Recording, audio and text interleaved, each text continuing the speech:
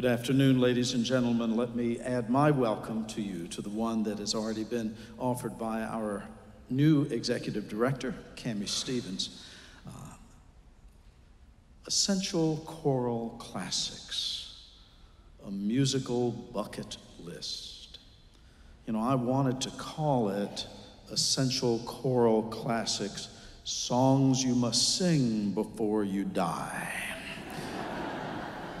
but the staff of the Michael O'Neal Singers thought better of that and came up with a musical bucket list, which is probably better. But these are songs that we need to sing many times before we die, and that we need to hear many times before we die, because these are great pieces of music.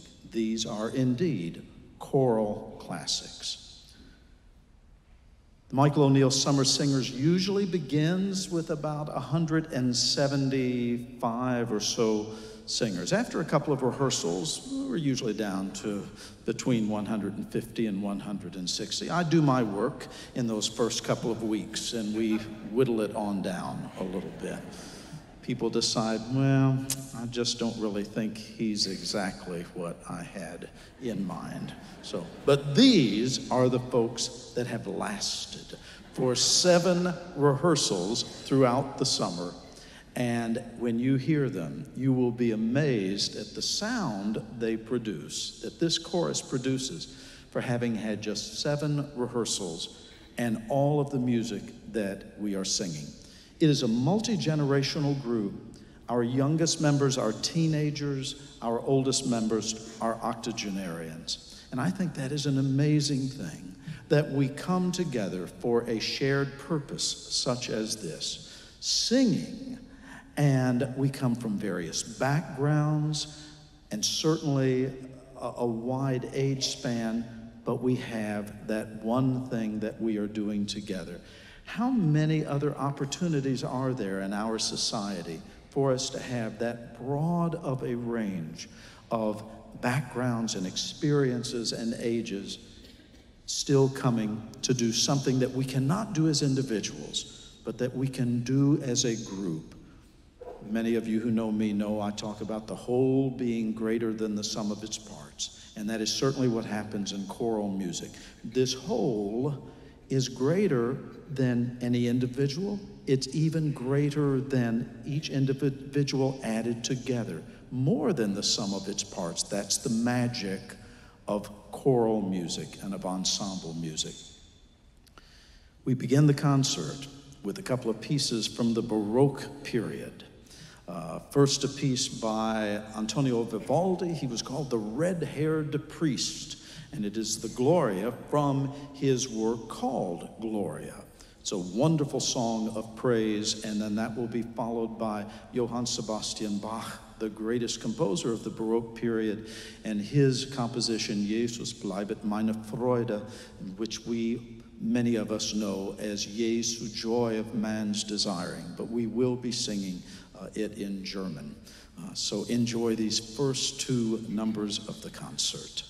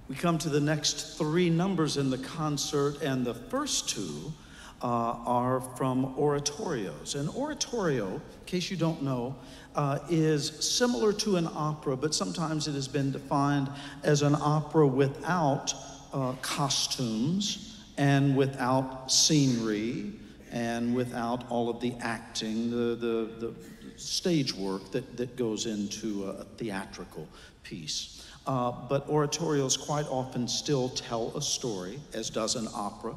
It includes solos and ensembles and choruses. Uh, and so, what you are going to hear are two pieces from uh, fairly early oratorios. The first one is The Heavens Are Telling from Haydn's The Creation, and it is essentially a, a retelling of the biblical account of the creation. And when we sing, the heavens are telling the glory of God, uh, it is in reaction and response to the glory of the creation, which has already been sung and talked about uh, or sung about in the oratorio up to that point. And then the next piece that we will sing is from Elijah, the Old Testament prophet, wonderful figure uh, in the Old Testament, and it is by Felix Mendelssohn. And this is a, a, beautiful reflective chorus known by many people, a choral classic. He watching over Israel slumbers not nor sleeps, talking about the God of Israel. And then we will close these three, uh, this little section. The, the third piece will be a coronation anthem by George Friedrich Handel. Uh, he lived in England, composed in England for so much of his career. Uh, and he wrote four coronation anthems in 1727 for the coronation of George II. And at least one of these coronation anthems has been performed at every British coronation since that time, since 1727. The one most often performed is Zadok the priest, but the King Shall Rejoice probably comes in a close second, and that's the one that we will sing for you. So as you listen to that, think about the pomp and circumstance of a, a royal coronation at Westminster Abbey, which is where uh, it would have been performed. Uh, so the king shall rejoice by Handel. But let's start the section with Haydn.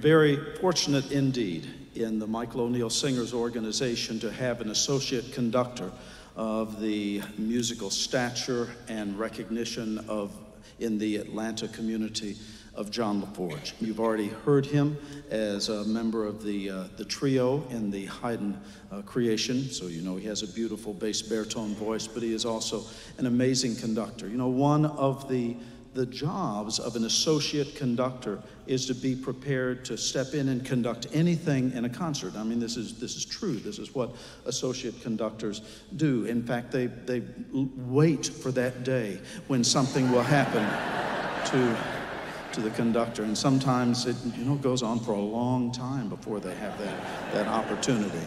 But, uh, but John is coming to conduct uh, two of the, the most beautiful pieces in our concert today the, the Kyrie from the Schubert Mass in G, and then from the Mount of Olives by Ludwig van Beethoven, uh, the Hallelujah, his Hallelujah chorus. Uh, so we welcome John LaForge to the podium to conduct these next two pieces.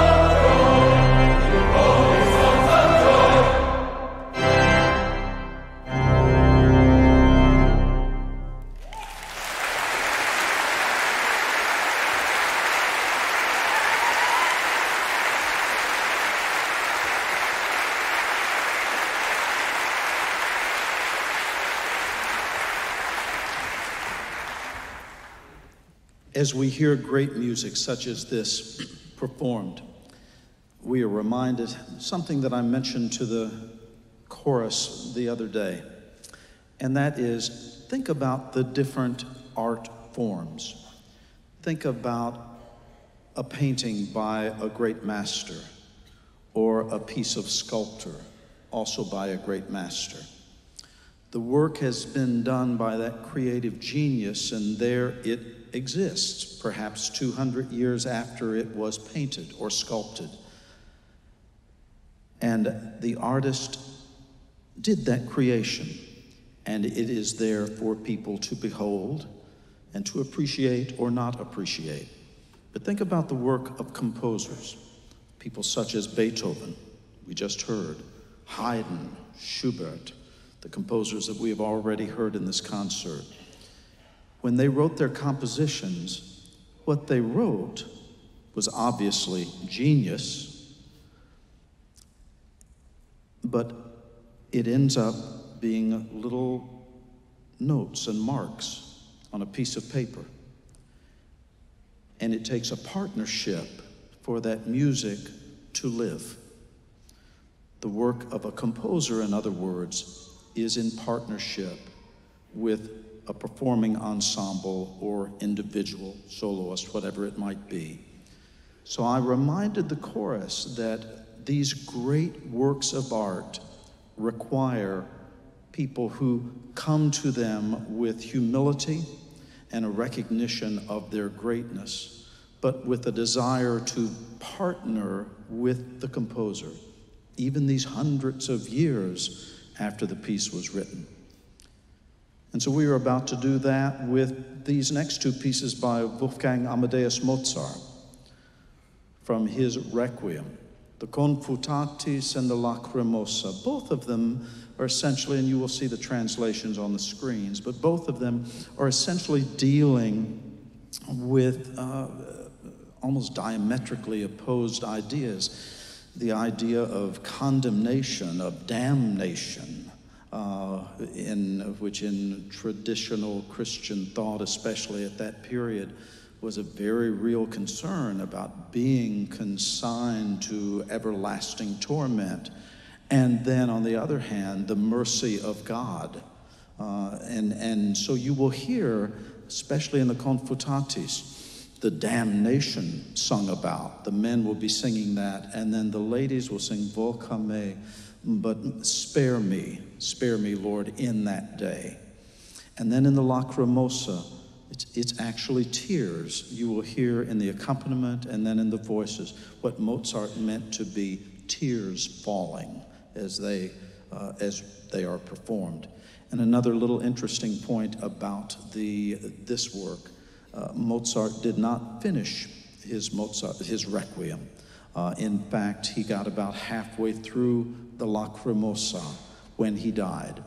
And uh, his, uh, his student, uh, we believe, there's different thoughts about this, but his student helped finish the work for him, not Salieri as in the movie, uh, but uh, the so he had the sketches of Mozart, and so the, the final uh, half of the Lacrimosa is really a realization of, of what was believed that Mozart wanted. So listen to the Confutatis, followed immediately by the Lacrimosa, a gem within the Requiem.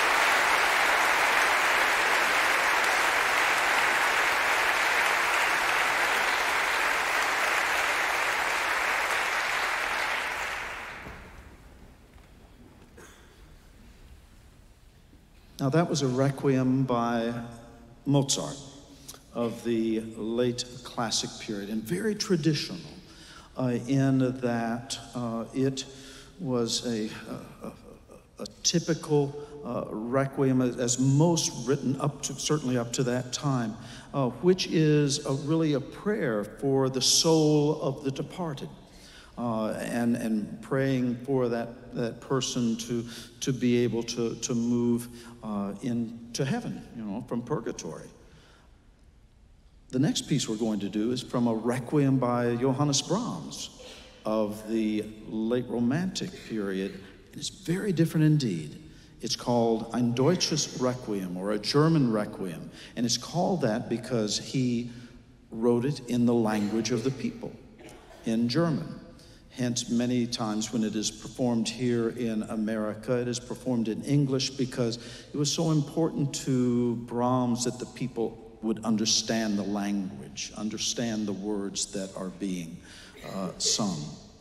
And one of the main differences in Brahms' Requiem and those that came before and most that came after is that it is sometimes called a requiem for the living. Rather than praying for the soul of the departed, it prays for the solace of those who are left behind, uh, who are going to miss the person who has died. And in the very middle of the requiem comes this piece How lovely is thy dwelling place. Probably the best known chorus from Brahms' Requiem. And it is a centerpiece, uh, both uh, literally and figuratively, for this work. Uh, and then we will follow that with another piece from the creation. We did the heavens are telling earlier. Now, this next one comes later in the uh, oratorio, near the end and it is achieved, achieved is thy glorious work. In other words, the creation of the world, it has been achieved. And you will hear the excitement and the joy in that piece. So, a piece by Brahms and a piece by Haydn.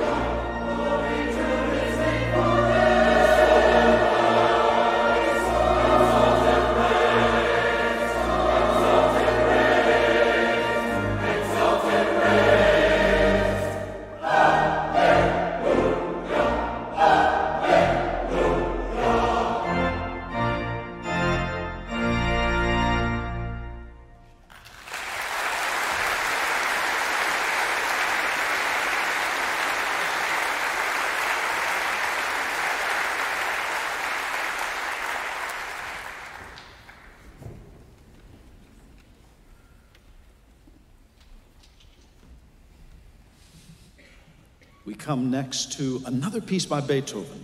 Uh, this is uh, before he wrote Missa Solemnis and before he wrote the Ninth Symphony, uh, pieces that probably we know very well, but it's a beautiful work.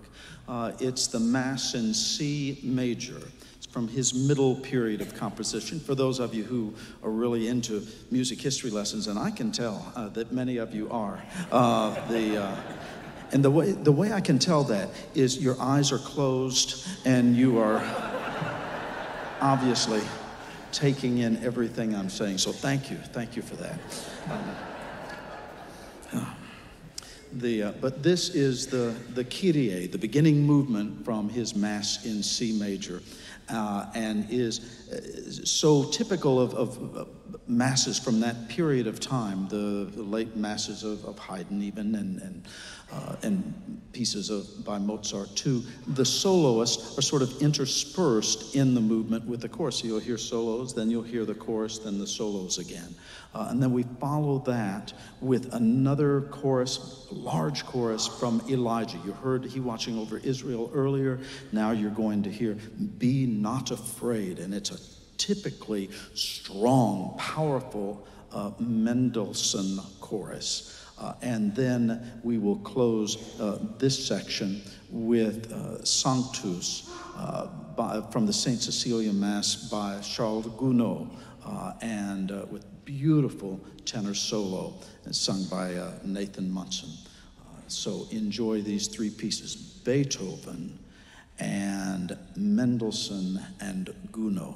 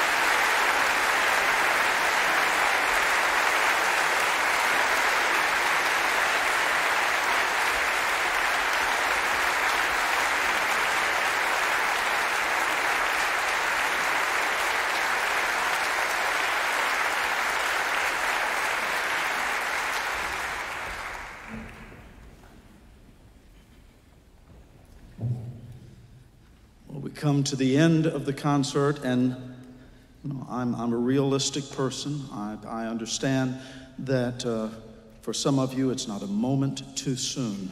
Uh, because many of you came with the musical member of your family uh, who is up here, and you are supporting them today. And so we thank you for being here, even if it's not exactly what you thought you wanted to do on your Sunday afternoon. Uh, but we hope you have enjoyed it, and we hope also that in hearing this music uh, and seeing the expressions on the faces of these people up here, maybe you have a, a, a better understanding, if you didn't already, uh, but a better understanding of why your family members and your friends care so deeply about this. Because it takes us to, as I mentioned earlier, to places that we cannot go on our own. Uh, the, I mentioned to the chorus, uh, maybe it was at the rehearsal yesterday, that Robert Shaw, uh, the, the famous conductor, of course, of the Robert Shaw Chorale and later of the Robert Shaw Festival Singers, and for so many years the musical director of the Atlanta Symphony Orchestra and Chorus, uh, said once that the arts and music in particular will at times create a window through which we are able to glimpse the divine. Just a glimpse of the divine through that window of music. And this summer, we have had some glimpses, I think, of the divine. And it enriches our lives, and we hope your lives have been enriched by being here this afternoon. We hope you will want to come back to the full season of MOS. Uh, it's mentioned in, the, in your program on the inside uh, cover, uh, and you can see all of the uh, things that we are doing this year. There are also some cards out there. Brochures will be ready in a few weeks, but there's some cards also uh, explaining what we are doing this year. You can contact the office either through uh, by telephone or by email. Get on our mailing list if you are not there already, and we'll keep you informed of everything that is going on. But we thank you for being here today.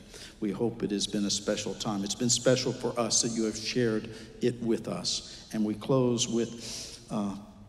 Probably the best known chorus from the best known oratorio, and that is Hallelujah from Messiah.